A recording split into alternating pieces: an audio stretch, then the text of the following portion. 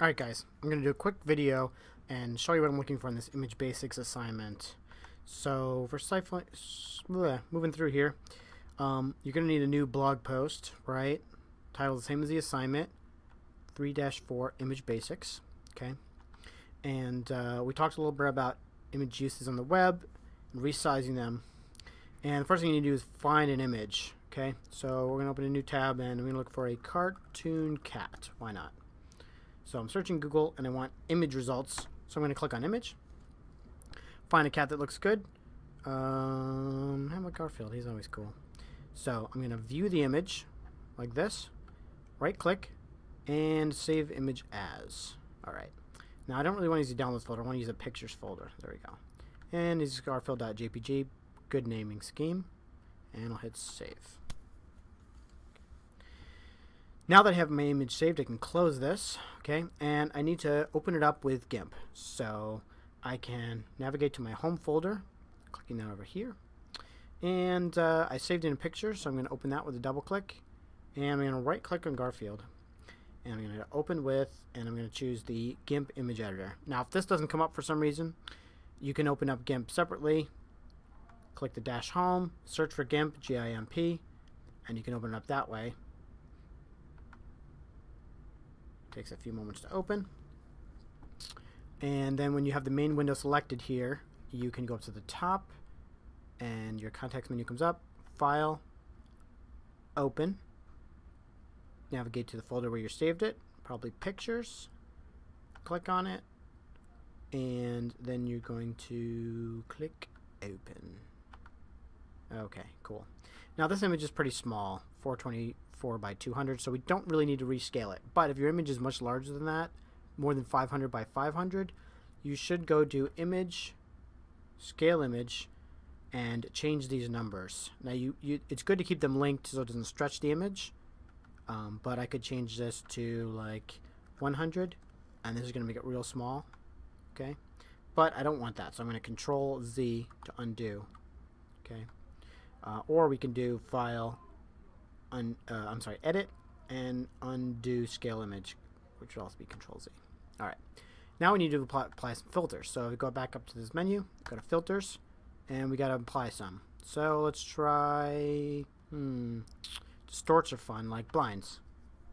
Okay. Um, adding more blinds, usually more interesting. Number segments, something like that. Hmm, something see in the preview that's kind of there we go that's interesting. That looks like blinds. Okay cool. So now we're going to save it. So we're going to go to file and save as. You don't want to save it over the, original one you want to save as a different name okay? And then after Garfield but before the dot .jpg you want to add a dash and put whatever filter you use. So I use blinds so I will type B-I B-L-I-N-D-S and save and if you get something like this, click Save Again. Okay. So now if I go back to that folder, I should have two files, the original and then the blinds. Double click, you can preview it.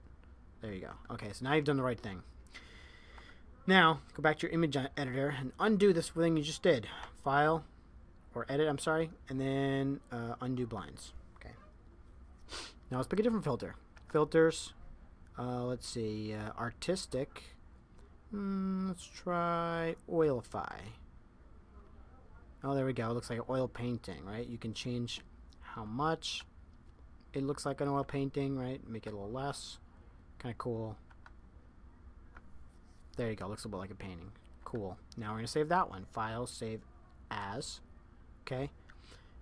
Get rid of the blinds and change it to oil ify or whatever you use. Save. Okay. Save. So you're going to do this a couple more times using whatever filters you want. Just make sure that it actually makes a difference. Uh, so let's see. If I do enhance Deinterlace. Oh, I didn't undo the other filter. Let's see. Undo. Undo. Okay. Uh, filters. Let's see. Enhance Deinterlace. I don't see much of a difference here. Very, very small difference. Right?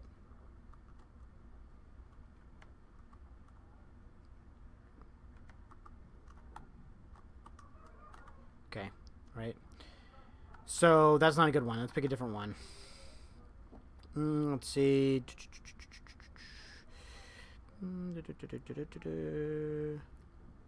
Apply canvas. Ah, now it looks like it was on a canvas. Kind of cool, right? Very cool. I'm going to save that one. File, save as canvas. There you go. So it's important to keep track of which ones you're using. Okay, and I need one more, so I have three altogether. Uh, let's see, distort. Mosaic is also a cool one. Um, there we go. Very cool. And file, save as. Okay. Mosaic. Mosaic. There we go. Alright. So now I should have four images. Oh, looks like I actually end up with five. Should have at least four images, three different ones, okay, and the original. Very good. All right. So the next step is we need to take those images that we just created and we need to put them into an HTML document. So if you looked on my website, you'll see that we're going to be using the IMG tag here. So the format is going to be IMG space src equals and the name of the image within quotes. Okay. The image must be in the same folder or include the full address. We're just going to put it in the same folder for right now. Okay. Okay. So you should have all your images in one folder. So I put them inside documents and then the folder I called 3-4 underscore image underscore basics. It's good not to use spaces. Okay. Then I created a new HTML document. How can you do this? Well, you can go to the right and you can go to create empty document. Just like that. And then you can title it 3 4 underscore image underscore basics dot html. It's important to put the dot html. Okay. Now I already have an image with this name, uh, a file with this name, so I cannot create it. So I'm going to delete that and undo it. Move the trash. Okay. So now I'm going to open up the file that I created. You're going to click right click, open with text editor. Okay. So now I need to add my images in. Alright, so I'm going to use IMG tag. Put it, enter, do a couple tabs.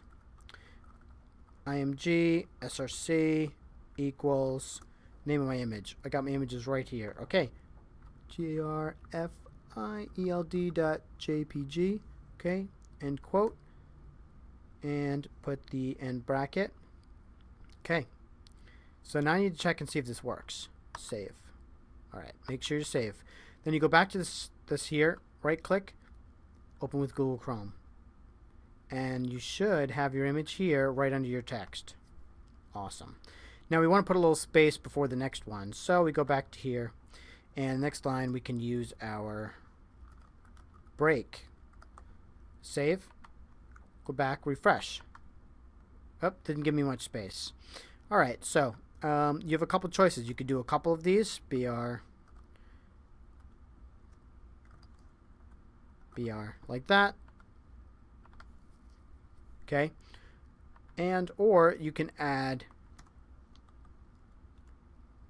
an HR, which gives you that horizontal line. That's a nice separator, okay? But I think we want that before these breaks. So I'm going to cut and paste that into there and then some breaks. So it's probably good to have a little of both. Okay? Alright, now we can set up our other ones just like that. We'll copy and paste to the other paragraphs.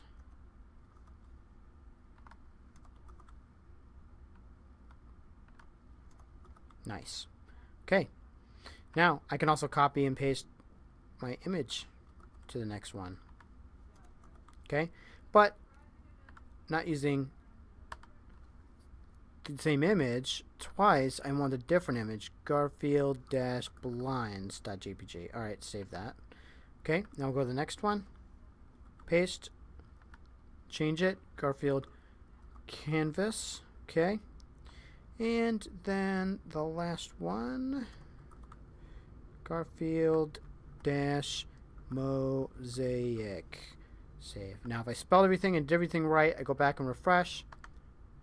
I should have original, blinds filter, canvas filter, and mosaic filter. Very nice and clean, right?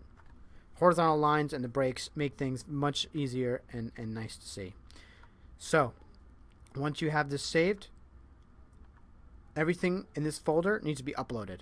So what you do is actually upload the entire folder.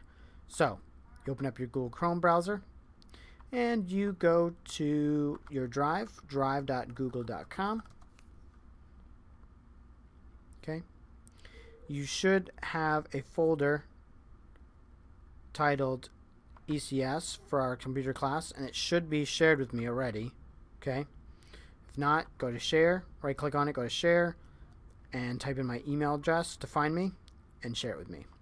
Alright, now go back here and we're going to drop this folder right inside here. Bam. And you should get an upload status here. It shouldn't take long to upload at all, a few seconds at most. And once it's all uploaded, you want to make sure everything's there. Double click. Okay. And then just make sure that it is shared with me and you are good to go. Put a link to this, to this folder, okay? Right click, get link, okay? And put a link to this folder on your new blog post.